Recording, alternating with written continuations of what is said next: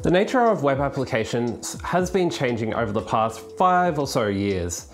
Gone are the days of those clunky Web 2.0 pages, and now we have these sleek, fancy single page applications, which seem to be more resilient to attacks. So what can we do as penetration testers to be able to adapt?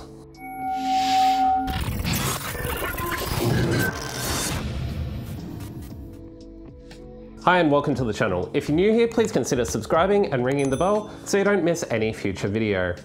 So a question that I get asked very frequently is what web application penetration test course should I take?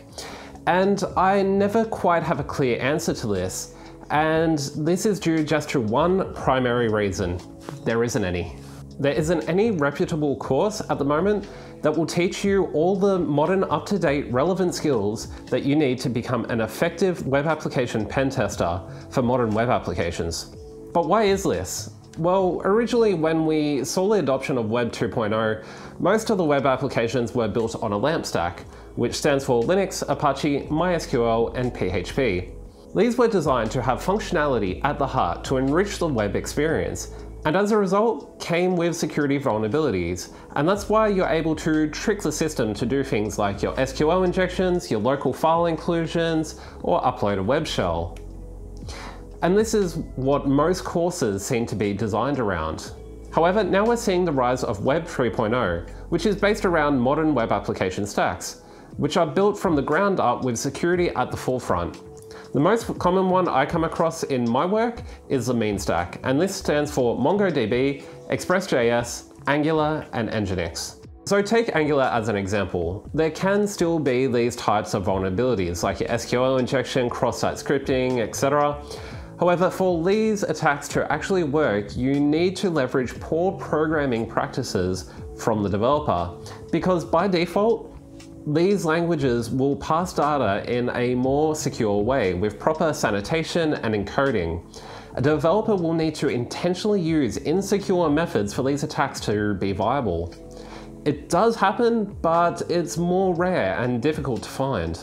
However, with these new stacks, there has been an addition of new vulnerabilities. Some of these include weak JWTs, prototype pollution, NoSQL injections, and more. There's a current gap in the training market. There's no course that covers modern web application attacks.